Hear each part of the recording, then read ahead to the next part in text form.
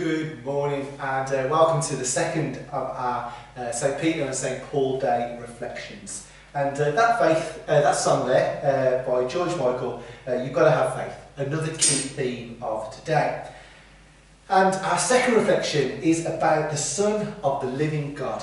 And for today's, for this scripture reading from the Gospel according to Matthew, Mrs. Davies is going to lead us.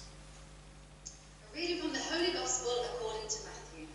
Jesus went to the territories of the town of Caesarea Philippi, where he asked his disciples, Who do people say the Son of Man is?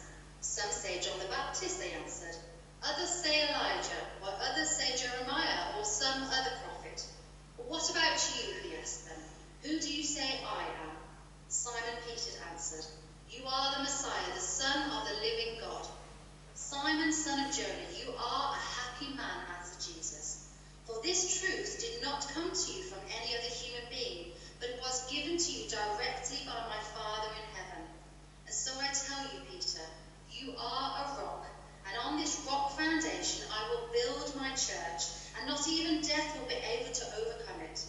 I will give you the keys of the kingdom of heaven.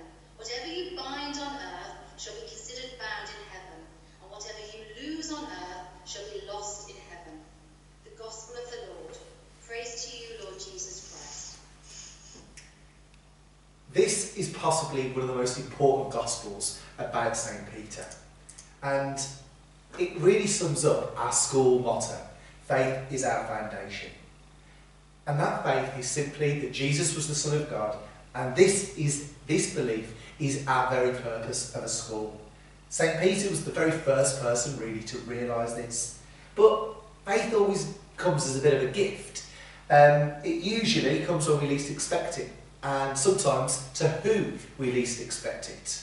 In biblical times, faith came very quickly to the poor beggars and the prostitutes and the marginalised and the sick.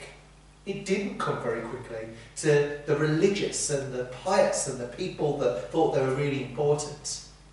Perhaps that's because it's when there's a bit of a chink in our armour, when we're feeling not at our best, that's when our faith makes sense. And so let us pray. In the Father and the Son and the Holy Spirit. Amen.